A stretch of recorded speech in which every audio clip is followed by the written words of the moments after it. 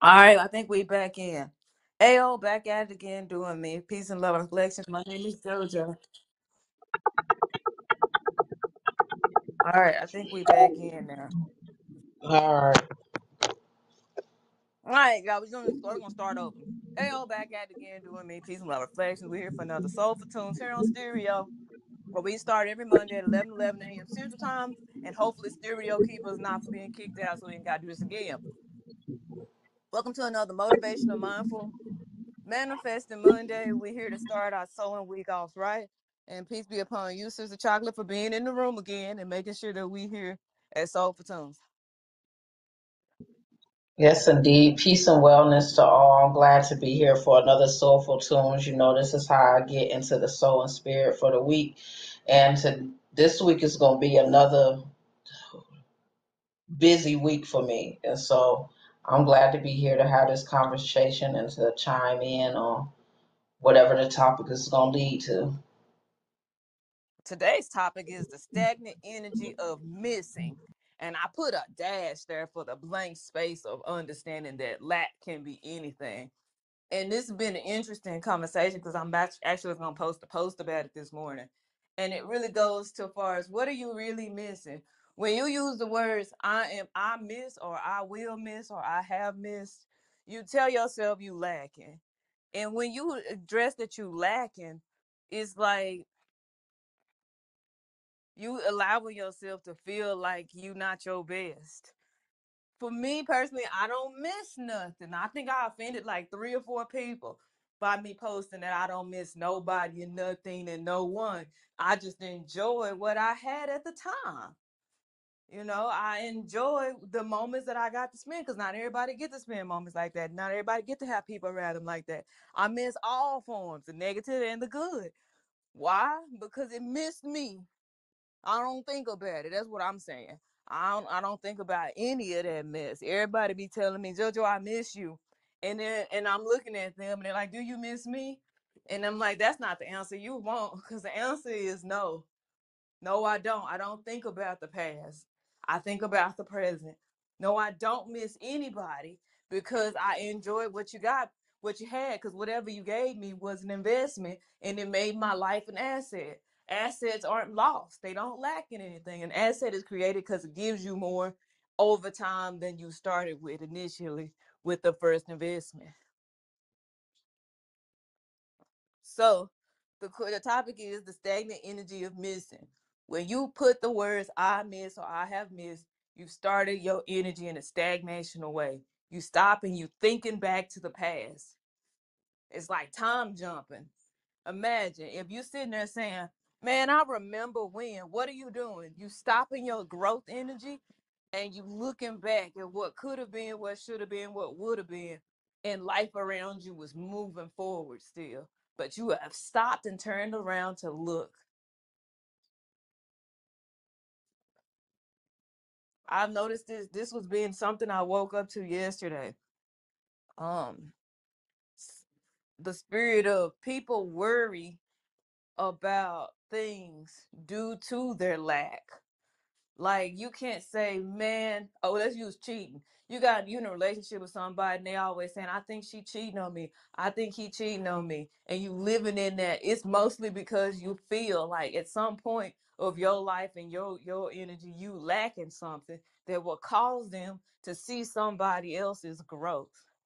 Like I wouldn't run around seeing somebody else's growth that's better than mine. I will only see growth that is in me you know, a person that run around saying he more handsome or she looking fine or she got more money or she got more money or or she got more muscles and I got more muscles. They got more muscles. You know what I'm saying? You looking at these people saying I lack, I lack, I lack. Jealousy is formed with the ideal of lack. What I mean by that is I can't be jealous of you if I don't see myself lacking. If you got it, I most likely can get it And if I can get it, why I care about you having it?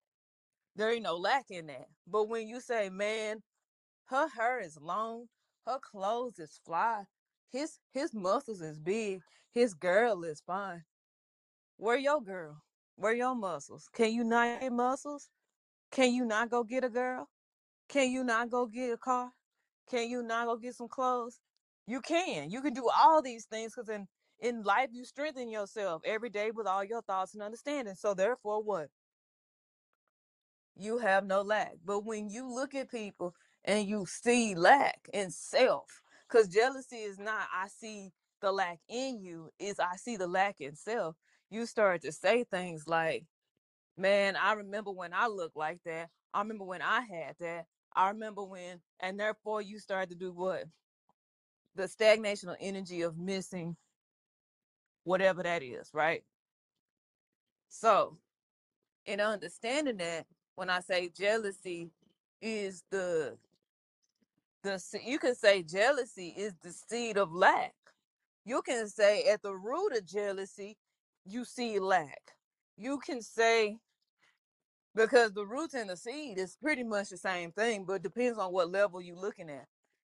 For me, I don't see lack like that. Lack don't linger in my life because I ain't lacking. Um, I'm doing what I'm doing because I do it and I want to do it. That's why I say back at it again, doing me. Because you ain't gonna tell me what I'm doing. You ain't me. Don't ever open mouth tell me what I'm doing. You have no idea what I'm doing. And that's like when we talk to the Most High. The Most High is doing whatever he's doing. You can't be like Most High. Can you bless me today with ten thousand dollars? He's like, you don't even know what I'm doing right now. How you gonna tell me what I'm already doing? How you gonna tell me you don't even know what I'm doing? So we gotta be more aware of the level in what we are lacking. I mean, what we say we are lacking.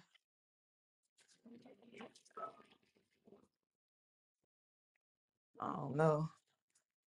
And it's just, you know, this this this the energy. I'm trying to break the stagnation of energy of people creating lack in their life. Like that woman will still love you.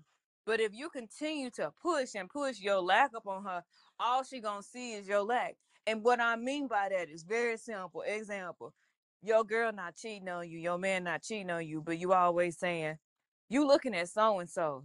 Let me see your Facebook. Let me see your messages. Unblock your phone. Who you talking to? Who you going to see?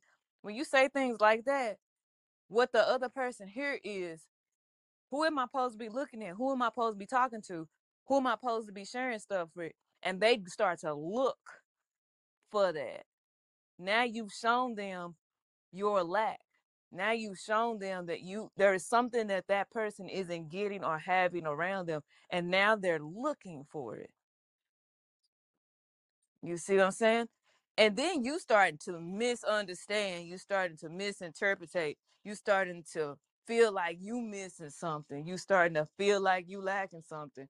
All because you worried about what somebody else is doing. This is what makes relationships a problem and very unnatural. Because if you think you lacking in something, why you with somebody?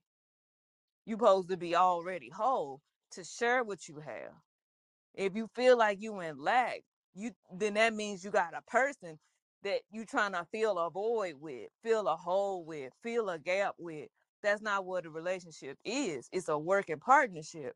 So therefore, if it's not working together and you build it on one person is building on the other person more, that is unbalancement. It's unequally yoked, as y'all call it. Therefore, it's a problem. I don't like to be in any situationship that's like that, yo. Like, if I feel like there's some lack, I'm gonna address the lack immediately. And if the lack is still lacking, I gotta go. I'm I'm not one of them people you're gonna keep getting on my nerve with the same situation and think I'm gonna stick around for four years, five years, three months, three days with that mess. You got three times to do anything to me, and I'm gone. I'll even address that. I'm like, well, this the second time you done said this now the third time you say this mess, I, I gotta go, and I'll I'll say it just like that because I'll three times you will not continuously do something.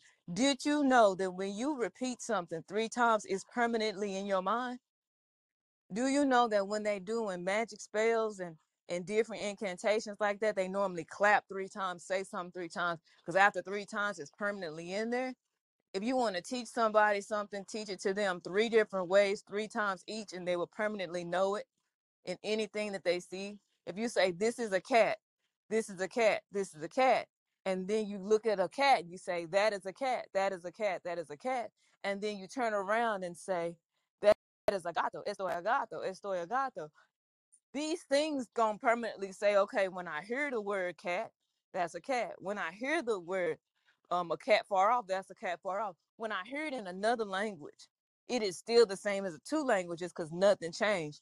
It's permanently in your mind. That's how you learn stuff. It's in the power of three power of three is the root. If you look at the symbol for the power of three you notice that it looks like three leaves.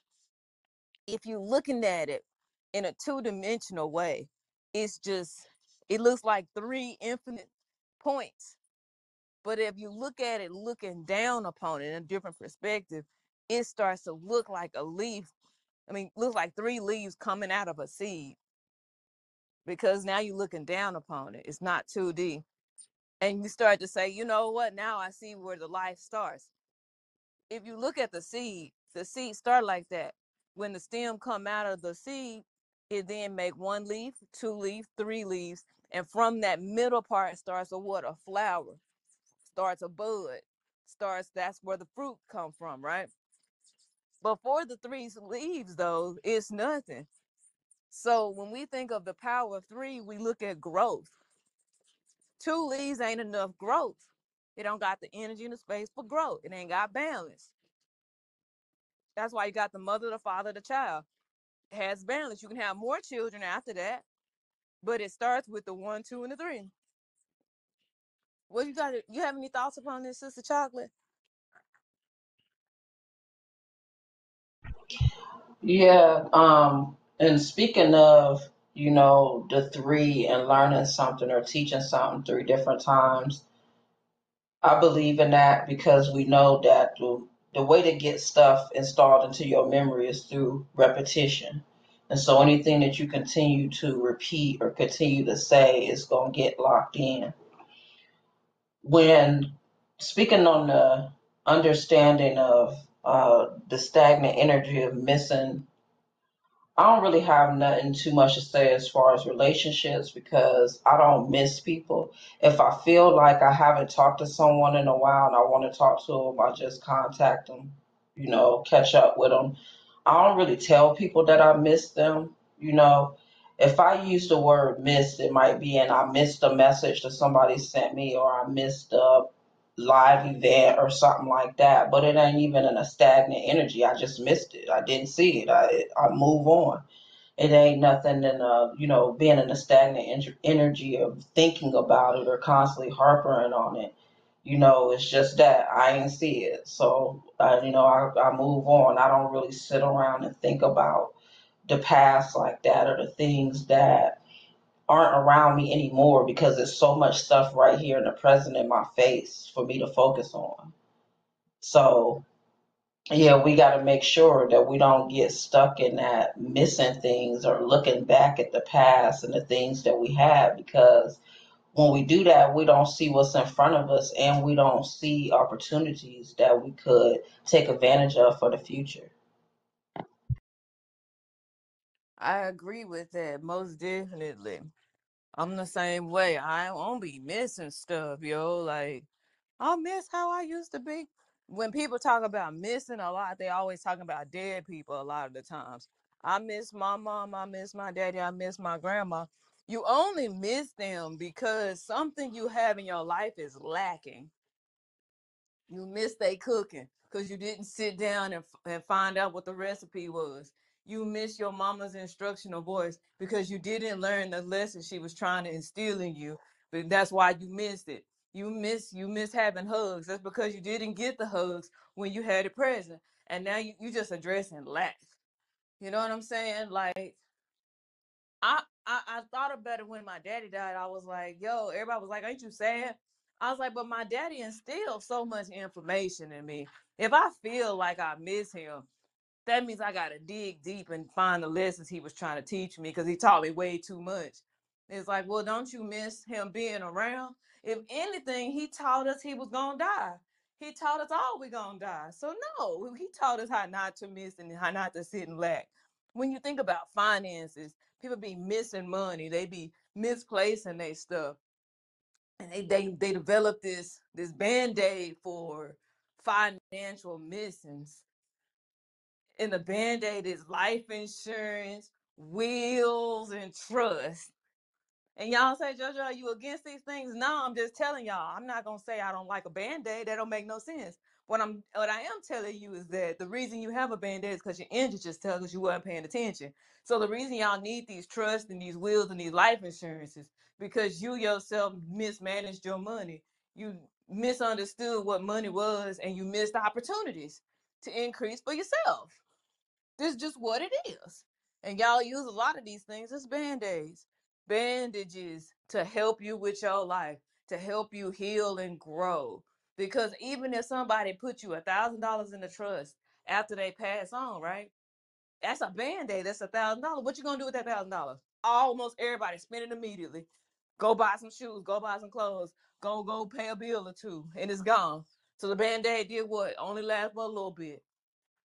Life insurance, same thing only lasts for a little bit.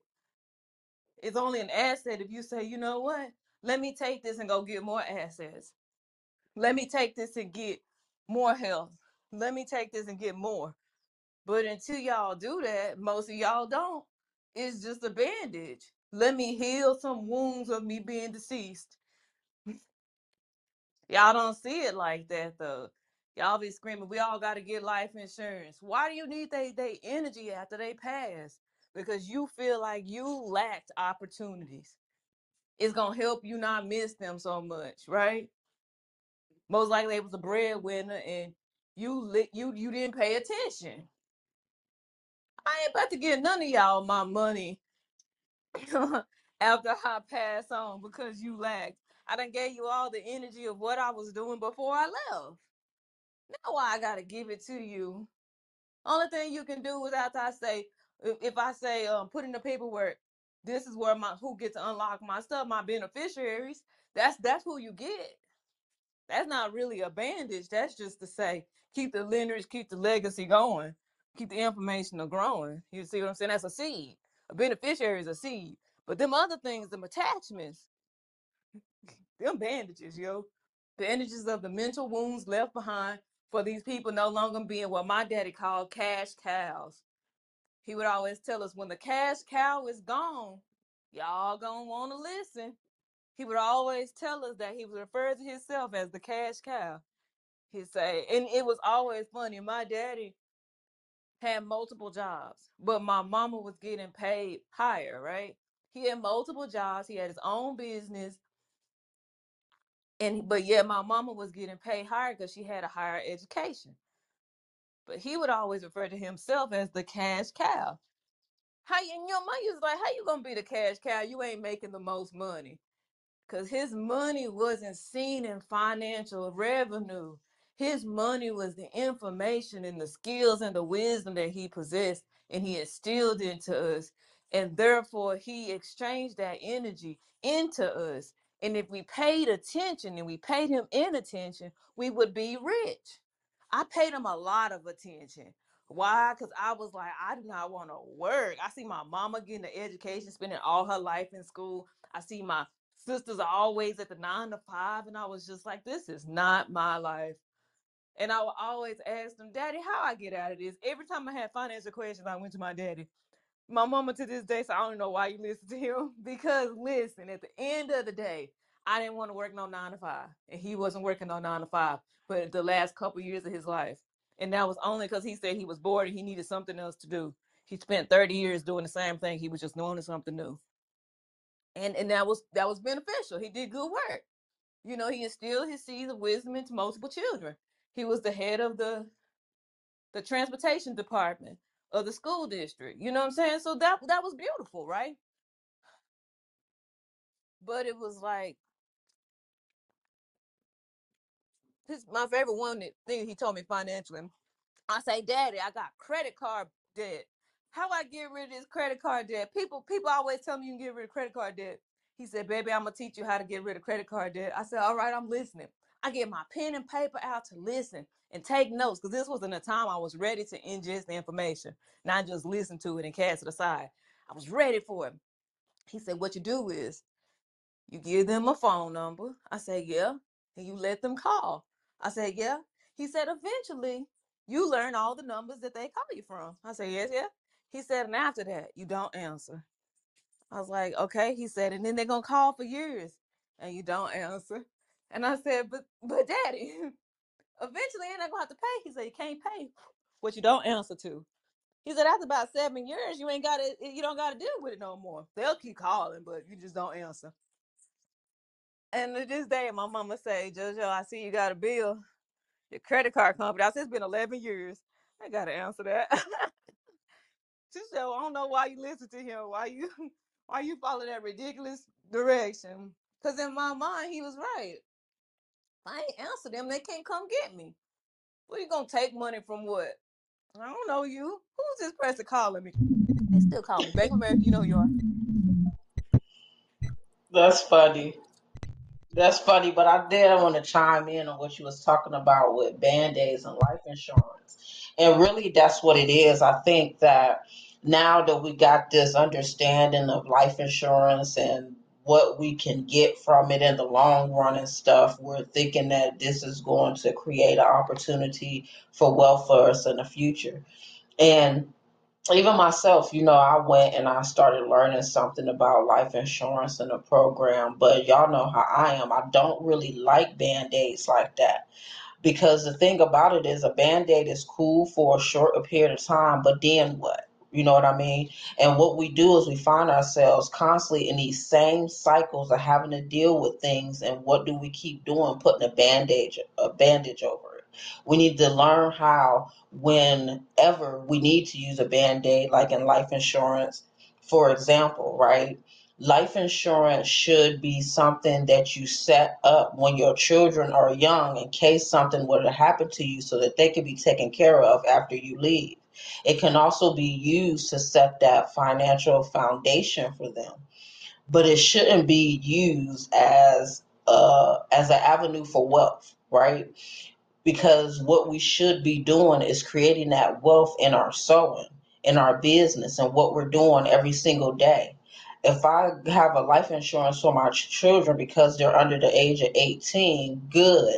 But if I don't die tomorrow, I got that day to work on my legacy and work on building that wealth. If I don't die next week, then I got this from this time till next week to work on these things. And that's another thing about life insurance that I don't really like about it because it gives us this false sense of security and making us stagnant in a way to say, well, I got this plan here, so I don't have to worry about actually building that legacy another thing that it does is it teaches it teaches not only our ourselves and our children that we don't have to be disciplined right? With me i feel like the discipline from day to day should be in building that that financial stability for yourself and for your children right? So if i have a life insurance policy over there and i'm like it's over there. They're gonna be good. I ain't gotta worry about it then that's not that's not teaching me how to manage or build wealth right? Because I'm paying this life insurance a monthly fee every month for something that's going to come in the future.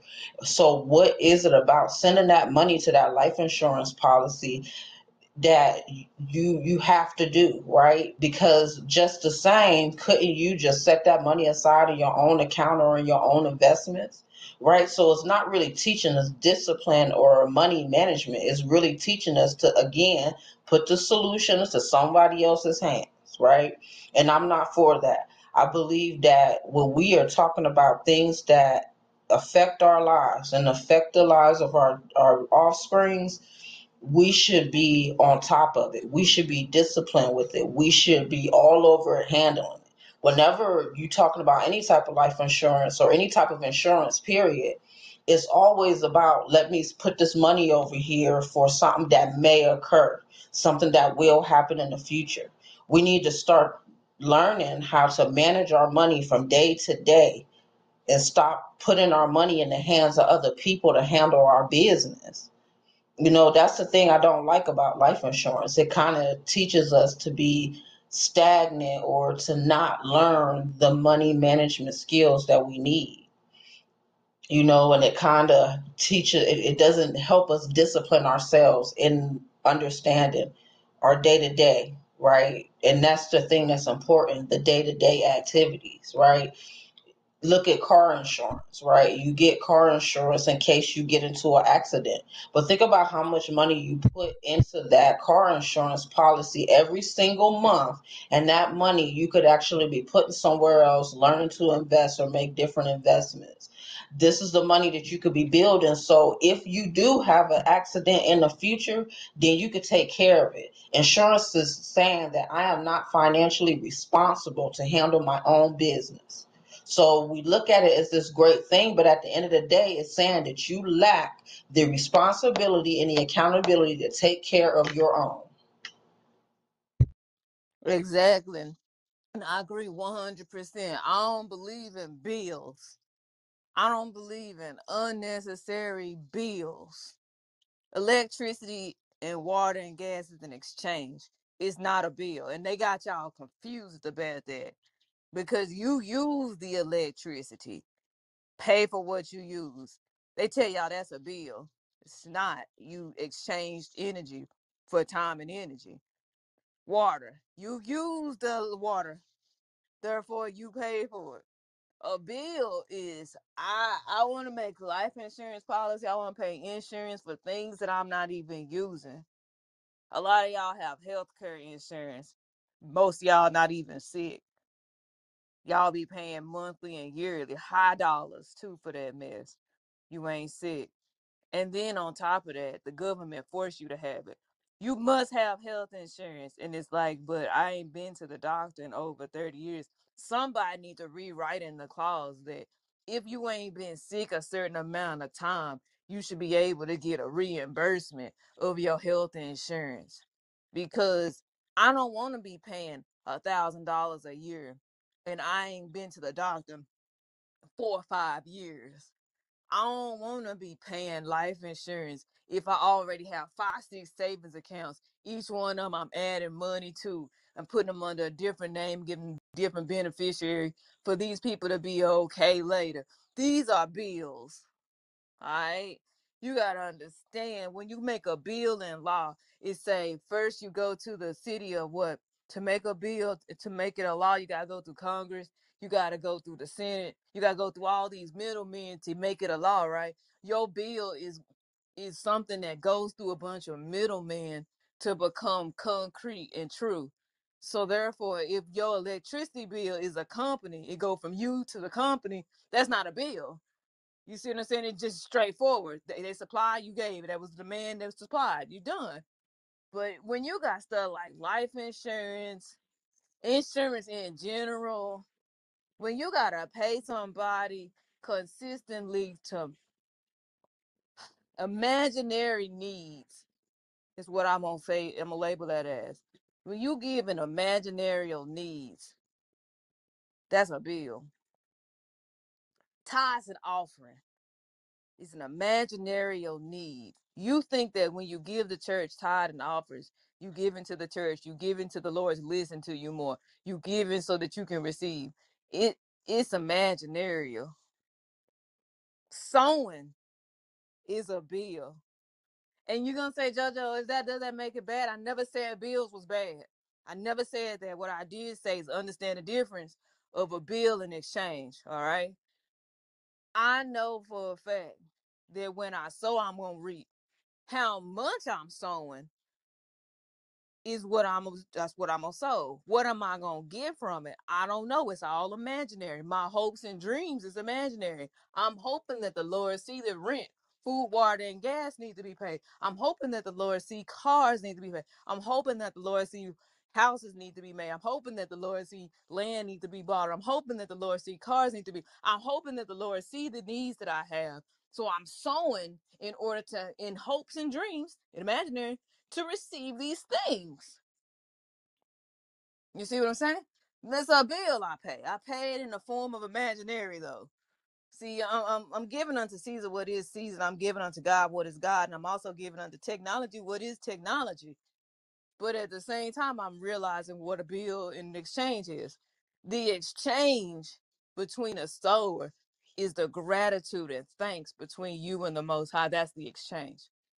Cause sowing, you you gotta constantly be in the in the remembrance of gratitude and humbling yourself and addressing and giving thanks. That's that's that's the exchange, right?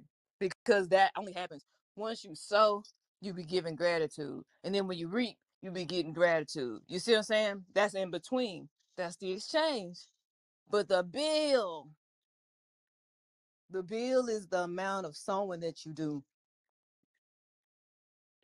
What is the bill you pay?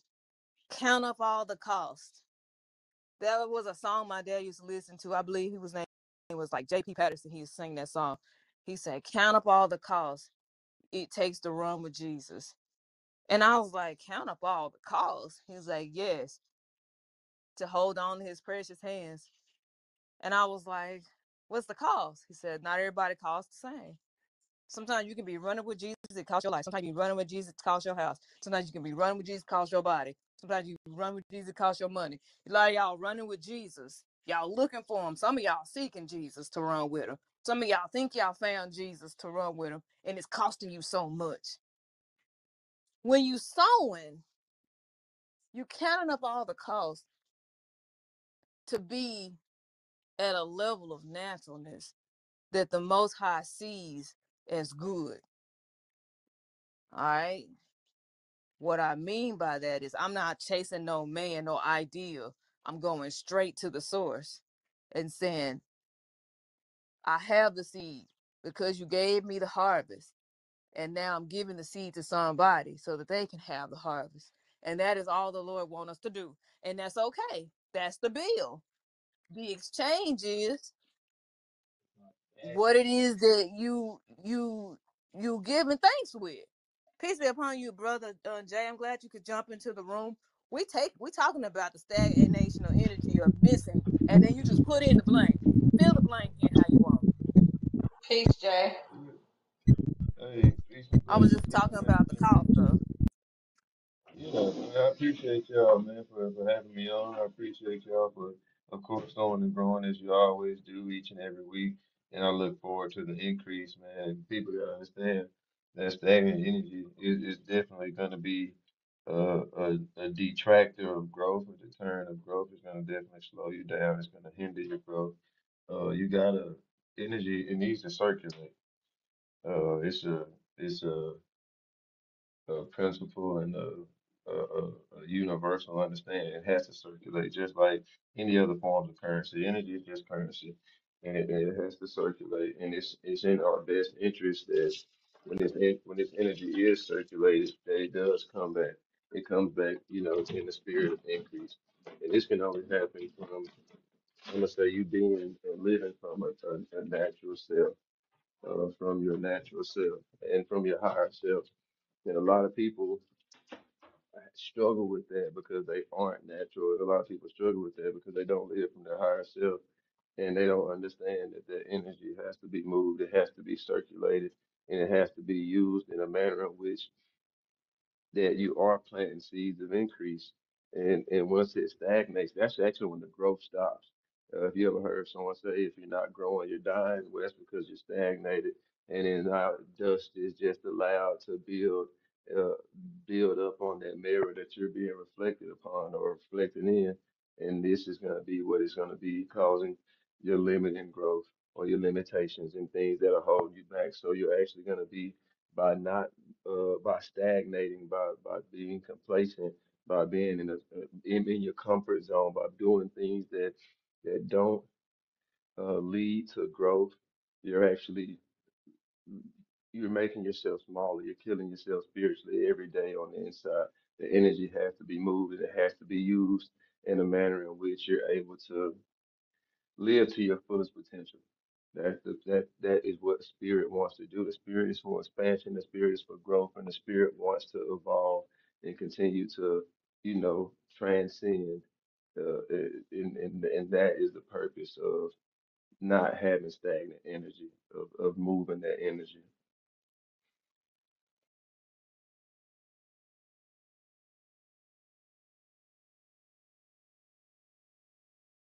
Exactly. Yo, we you know you gotta count up your cost. What does it cost? What what the cost is? And a lot of y'all all automatically we talk about cost, y'all talk about financial finances and revenue and income.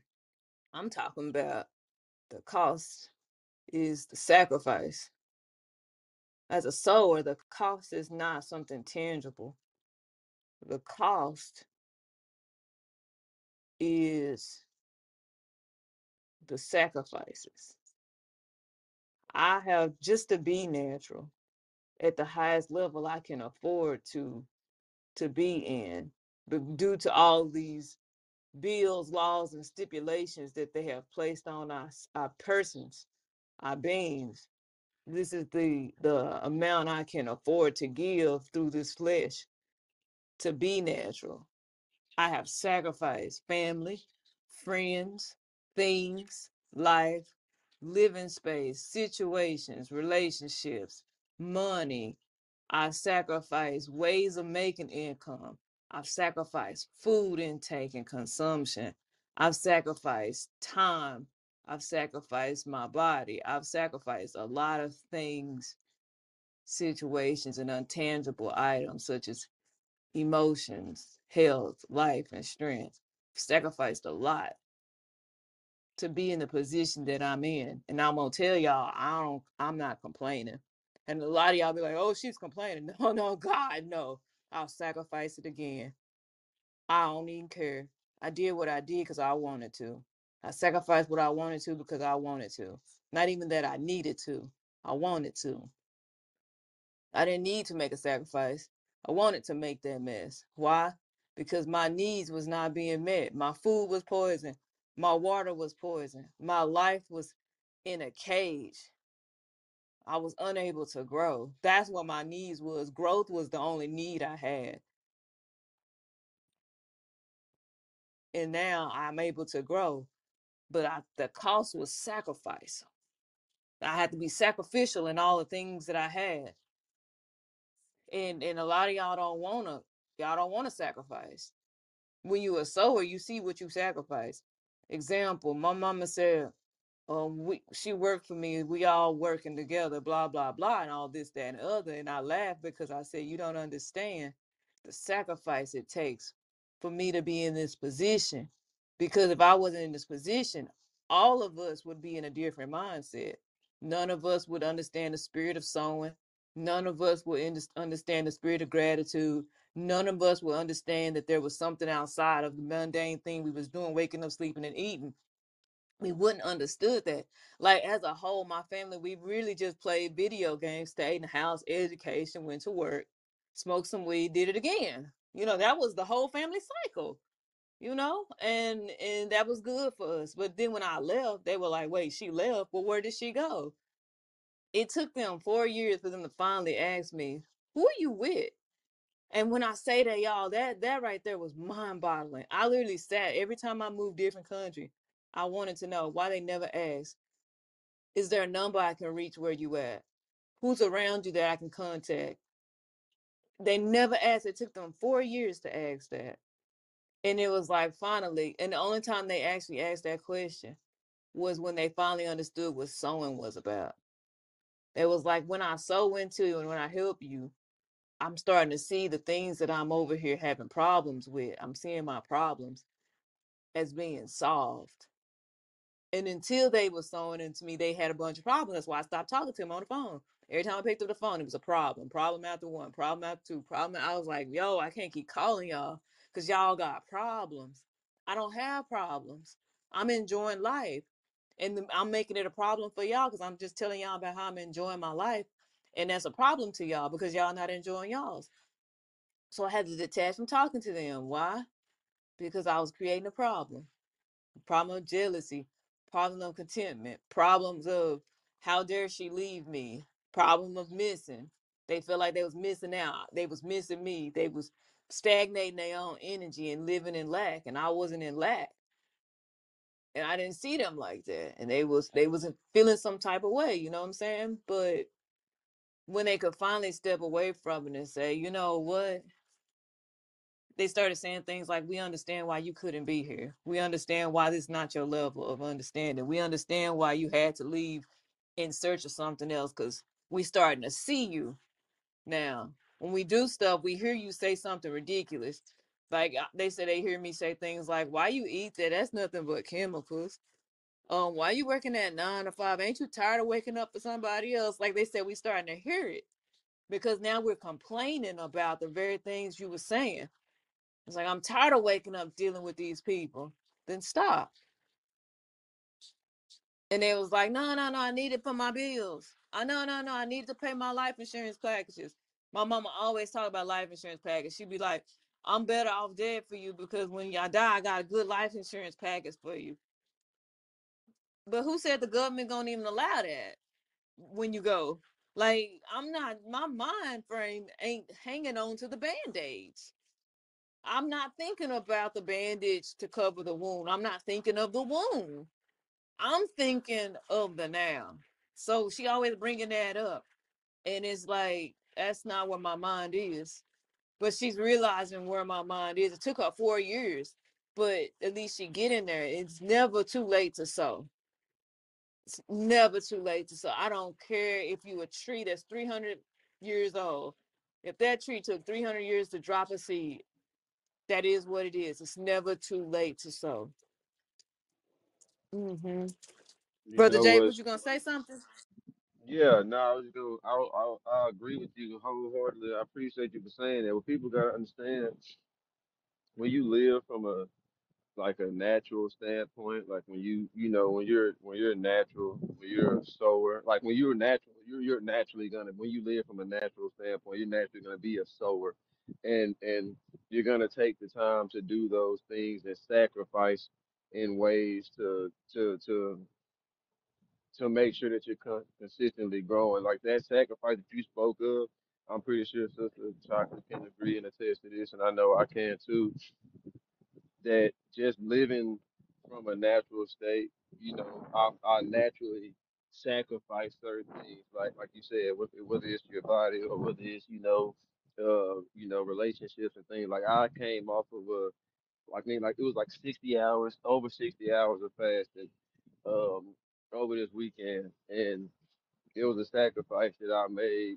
you know, for, for increase because it's nothing but increase that can come from, you know, resetting yourself and you know, uh, connecting with source and and digging deep in that, right? Like it's it's certain things that you gotta you gotta sacrifice. It just comes from having a you don't we when, when you're when you're natural you understand certain aspects. You know the you understand the, the need for not just delaying gratification, but just doing those hard things that everyone else isn't willing to do because everyone's not willing to do what's hard uh, now in order to essentially take it easy later. And, and and not saying that you're gonna not still be active because we do the things that we do because we love to do it because it fills our spirit up and because it you know it builds us up uh, from the inside, right? That's why we elect to remove certain people or certain circumstances, certain situations from our lives, or certain relationships from our lives because it doesn't fill us up.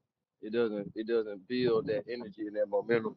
And we recognize that, and being in the, the spirit of understanding and, and knowing what is lim- limiting or hindering our growth, what's holding us back, what's what's not allowing us to reach our fullest potential. Because we this and, I, and I've known, I've understood this. This is this is only happens in a select group of people that have the, the ability to self-assess, uh, reflect, uh, introspect. You know what I'm saying? Like kind of look inward and determine what things suit their needs, what things fit what they're looking to do, what they're looking to build, who they're looking to become.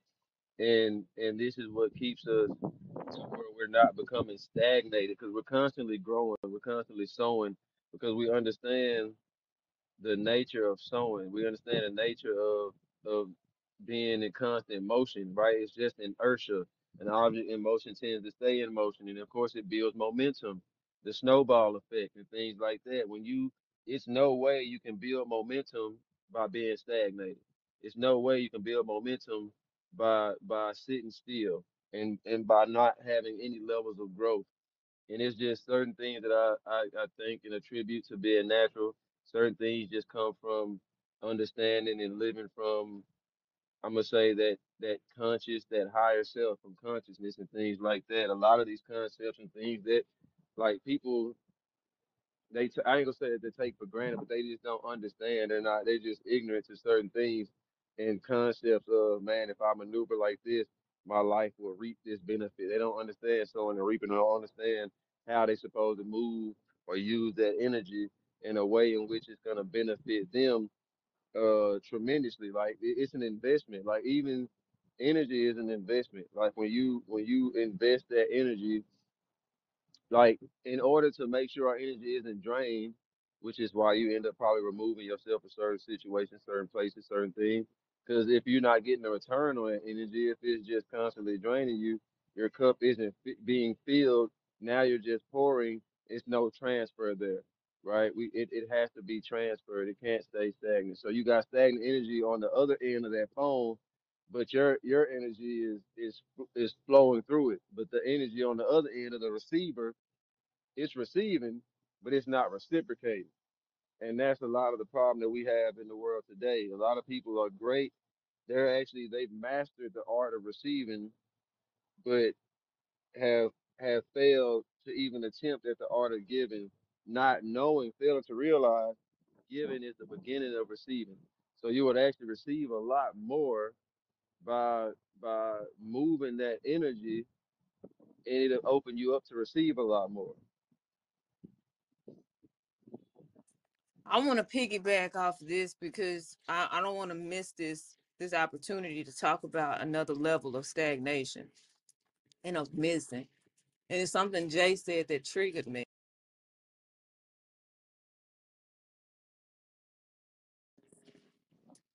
And I'm gonna use I'm gonna start off by an example, and then I'm gonna I'm gonna go on into the to the information. Example is this: Say you've been homeless, say you've been without, say you've been in sacrificial mode for a good long time of your life. I don't care if you was a child, a grown person, a young adult, it doesn't matter. You've been in a time of sacrificial, I mean sacrifice in your in your in your life. And all of a sudden you meet somebody whose cup runneth over and or they cup don't run over it just runs at a level enough to where they're already good and this person you around them or these people you around them and they continue to say things like go on and take some have some here it's okay get you some. They use these type of words and phrases. And in your mind you say no i don't want to take from you. No i don't want i already have some at the house. Um no no no it's okay it's okay i don't need it. When you say things like that it positions you in the state of stagnant energy because you start to remember and you start to look back at what you used to miss. And i know we talked about in the very beginning catch the replay we hear every monday 11 11 a.m central time for soul tunes here on stereo. And if you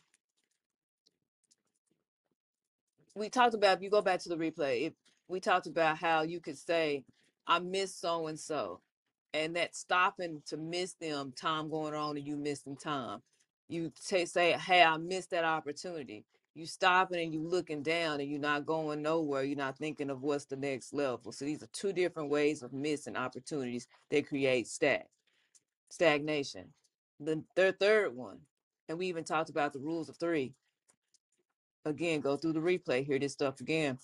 Um the third one is you sensing and you remembering what you lacked and it's making you act upon others as if they are in lack or they will have lack. Example i'm gonna use myself. I have a it's called a rambutan they also call them mamones uh, or leche tree. These are three different words they use for the same plant right i made a video about how i got a tree went to my student's house. She doesn't have a tree, but she has the ability to go and get plenty of them from her grandma's farm. So they went and got some from the farm, and she has a big bag of them. I know I already have a tree, but my tree, we we've plucked it quite a bit. I ain't gonna lie, it ain't got a lot of them on it, but it got some. And it takes a lot of energy to get the ones that we have left because they so high up. Now understand what I'm telling y'all. I'm talking about how I have to exchange a lot of energy to get some. I go to her house and she says, Jojo, get you some mimonas um before you go. My first instinct was like, nah, I got I got some in the tree. Um, I don't want to take. She already used her energy to increase her bag, right? And the spirit said, You stop right there, I rebuke you. I said, You rebuke me, Lord. He's like, Yeah, because that's the spirit of stagnational energy. This girl just told you, I'm willingly giving my energy to you for you to enjoy and receive. Though your cup may be filled, let it run over so that you can give the energy to somebody else. Yeah, your cup may be halfway filled, 75% filled. She said, Who care how long, how much cu- your cup is filled in? Take some and continue to run over. And I said, Lord is right. So I took some. You know what I'm saying? I wasn't greedy. I took what I could handle, what I could hold, and and I went about my way a greedy person would be like, "Let me go get another bag. Let me let me come back to your house get some of that, even though I got a whole tree." No, I took in understanding that I'm gonna take what I need. Don't let myself waste and enjoy what I have. A lot of us create stagnant energy because we fear that somebody else is gonna have to sacrifice how we sacrifice. But the thing is, sometimes people need to sacrifice what you had to sacrifice for them to understand where you coming from. Sometimes they have to sacrifice where you had to sacrifice for them to understand how to get to the next level for themselves. Sometimes somebody have to sacrifice how you had to sacrifice because they are the ones that help somebody else overflow their cup we can't stop people from sacrificing. Let them be a sacrifice. Let them sacrifice. Let them have sacrificial moments because just like it was beneficial from for you to increase and grow, it is the same for others. Let's not stagnate our energy because we are trying to save people from sacrifice. You can't save nobody from their sacrifice because it's part of their path. And I just, when I was listening to Jay talk, it came into my spirit to tell y'all that because so many of us bother people because we don't want them to sacrifice. Example, I'm in my house all the time, and there's a lady who always is trying to quote unquote save me, help me, assist me I'm not asking for her assistance. I'm not asking for her help. She just always comes to help me and assist me. I see it as bothering me. I see it as being in my way. I don't see it as assistance. I don't see it as help. I see it as getting on my nerves because if I don't ask for it, I don't need it. Her her is like, uh, I got the tools I have. I don't want her to have to sacrifice what I had to sacrifice. I don't want her to learn the lessons I had to learn. Allow me to learn my lessons because that is how I stimulate my growth. If somebody is constantly saving you, they create a lazy person. They create a weak person. They create a person who can't handle change, who can't have the strength to hold on, can't have the strength to pick up, can't have the strength to reach out, can't have the strength to help out. They don't have it because somebody was constantly giving their strength to them. When you constantly are giving somebody energy, you stopping them and stagnating their energy and creating loss and lack for them. I'm screaming in so many ways to this lady, leave me alone and allow me to grow because you are weakening me by doing these things all the time. I don't need your help because I am trying to grow strong. But for her, she just wants to be of assistance I'm seeing a pattern though with her because her children are very weak. Their immune system's weak. Their growth is weak. They're weak in their minds.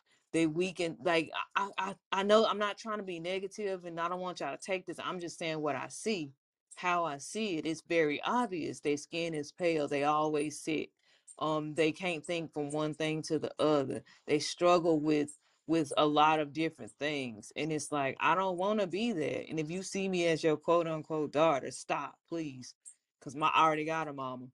And she already instilled in me strength. She already gave me what I needed to grow. I'm not seeking that.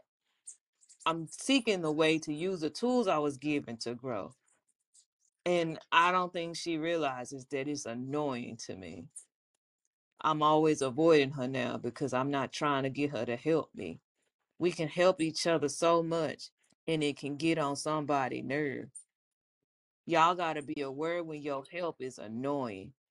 Y'all got to be aware when nobody mm-hmm. needs your help because it's stimulating lacking them in the future. Y'all got to be more aware when what you, and then it go back to the whole topic people start saying, "Man, I miss so and so cooking. I miss so and so. She was always there to lend a helping hand."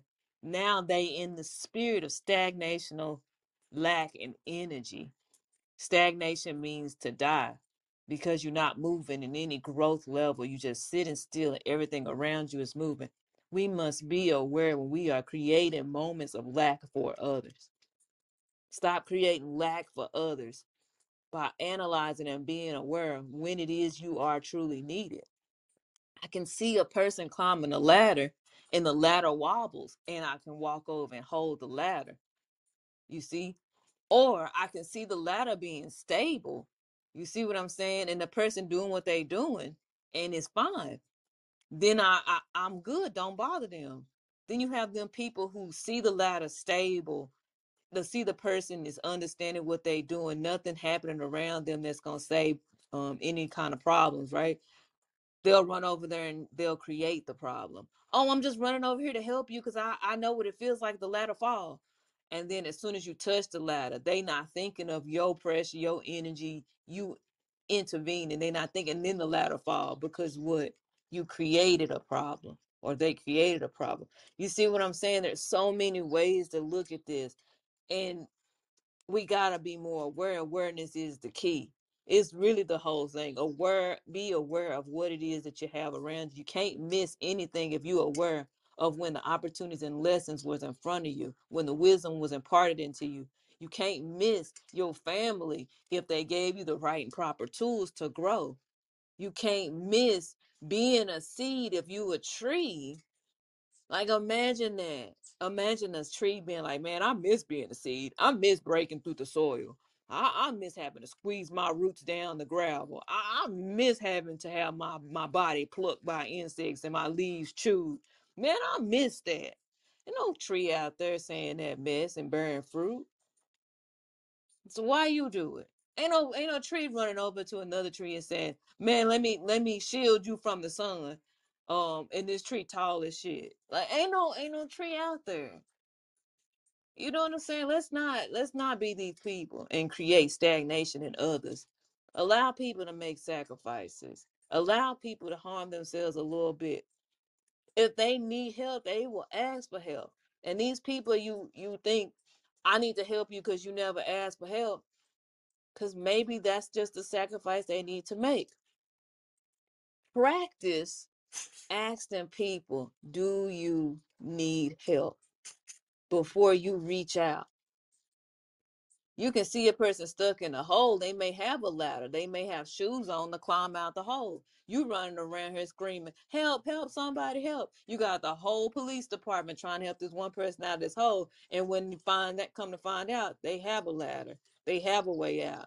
You just stopped everybody's lives, created such a drama and a problem, blocked the streets or whatever it is the situation is, and created a situation. All because you weren't aware, all because you didn't ask one simple question Do you need help? Are you in need of help? Would you like me to help? Because if you don't, you can be seen as annoying, overbearing, annoying as shit. And I'm using the word annoying because that is how it really feels. It is super annoying when somebody won't let you grow. It's like being in a cage. You you want to grow up, but somebody holding you down And it's like, yo, let me grow. No, no, no. It's it's hard out there. Let me grow. And that's when people start retaliating. That's when people start getting violence. That's when people start getting sick. They start to get at diseased. They start to get addicted. They start to get agitated. They start to get these things because now you've created these things by forcing your energy all based on you not what? Wanting to allow someone to suffer wanting to allow somebody to find out lessons wanting to not allow them to make sacrifices or have sacrifices instilled upon them. We have to be, be more aware. That's what i really wanted to say to y'all today um, i don't want to hold y'all too long. We've already been here for an hour. I'm gonna let the panel talk about that. Yeah, I just wanted to chime in on what you just said because it's so interesting that you used that phrase, uh, hold me down or to hold someone down because that's exactly what people are saying and looking for somebody to hold them down.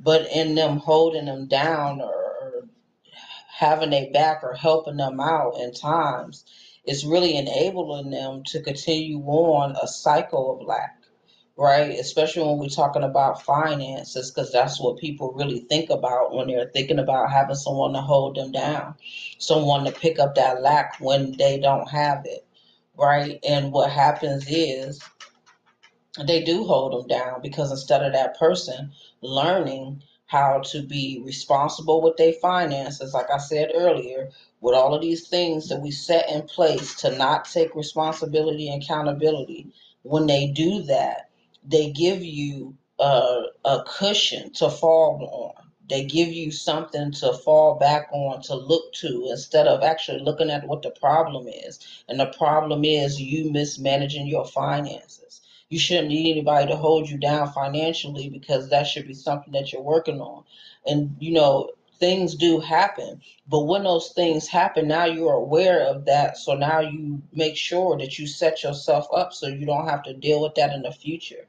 And that breaks up a lot of relationships and friendships because you have people out there that are constantly holding down their family, constantly holding down the person they're in a relationship, constantly holding down their friends and being that enabler to let them continue on mismanaging things in their life that they need to really pay attention to and they need to take action in and do what they need to do. I don't believe in that. You know, just like people say all the time, it don't matter how many times you fall off as long as you get back up. Yeah, if you fall off, get back up, but it does matter. You shouldn't be 30, 40 years old still falling off. When we young or when we come aware of things, we're supposed to build that firm foundation to build on. You shouldn't keep falling off. Falling off says that you haven't built a sustainable and a strong foundation to build on. And that's what having somebody to hold you down right? Look at the words, hold you down. They're, they are holding you down because they're not, uh, and they're not making room or giving that space for you to see that you need to change things about yourself so that you can grow and continue to build.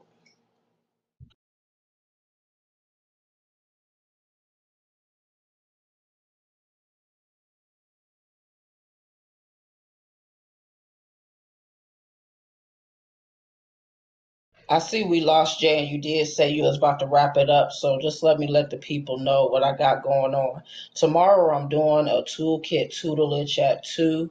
It's going to be on Telegram just get in t- contact with me if you'd like to join that. I'll add you into the group. It's going to be an overview of all the tools that I'm going to be teaching over the month of August, whether it be spiritual tools, mental tools, emotional tools, professional tools. It's going to be an overview of what tools you can expect to learn about in August. And then I'll be here on stereo on Wednesday for Words of Wellness at 1 p.m. Eastern Time Back again on Thursday for our Thinking Cap Thought at 3, and then our Financial Freedom Friday conversation on Friday at 5 p. EST.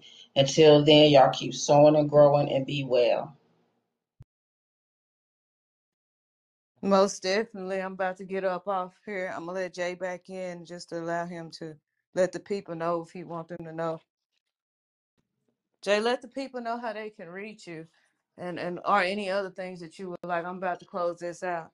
Okay, yeah, I appreciate you for putting me back on. But yeah, no, so basically what I wanted to add to that is just just like the analogy Jojo made, and then like a tree. Trees have growth mindsets. Trees always stretch their limbs and their branches as far as they can, as wide as they can, as high as they can, and grow to their fullest potential. They stretch their roots as deep as they can to build as solid of a foundation to ensure that they're not uprooted. And and they take every step in every single way that they possibly can to ensure that they reach their fullest potential. That's what we as people have to do and then just having that awareness, like Sister Chocolate said, um, understanding whether you're being held down or whether you're in constantly in a state of growth and, and uh, ensuring that certain things don't hold you down. Uh, awareness and and and growth mindset will take you very far in this in this in this world that we're occupying. Um, but you can definitely catch me on all platforms, Stock Market J. I have my uh, link in the bio, so just kind of click on my Linktree. You can go to all my socials, um, and Stock Market J on all platforms. I'm also working on a financial education webinar today for the people that are able to catch it. Uh, to go to Facebook to get the link and everything like that. Uh, seven o'clock uh, Central Standard Time. I'm doing a financial education webinar. It is free I'm also going to be bringing back uh, uh, my dividend investing uh, class that I'm going to be hosting. And of course, you can catch me on my weekly coaching sessions uh, on the weekends. Of course, I have replays available for all the students that couldn't make the class, but definitely tune in, tap in, and and and and, and get in the mix of what, what what's going on because this is financial increase um, in a natural sense in which you're able to put your money somewhere in order for it to come back with friends. You can put it on autopilot. You don't have to worry about um, what's going to happen over the next five years, ten years, you know that the the, the the investments that you've made are protected are secured, and and they're going to do what they're supposed to do, which is return that energy in the form of money to you, the investor. Awesome. I'm glad we could all have today's talk. It was a beautiful talk. Catch the replay if you can, but we'll be here every Monday at 11 11 a.m. Central Time here on Stereo for another Sowful Tunes. I'm grateful to have had this talk with you guys. Sister Chocolate, Sister um, Brother Stock Market Jay, we all up in here. We, I can't wait for the next conversation. Check out Financial Freedom Fridays here on Stereo at 5 p.m. Eastern Standard Time where me and Sister Chocolate will be there talking about how we we grew this week. You know what the financial growth looked like. Again, my name is also known as the Master of Manifestations, and gives her us depending on where you are on the platform. Um, y'all so on and so forth. Peace.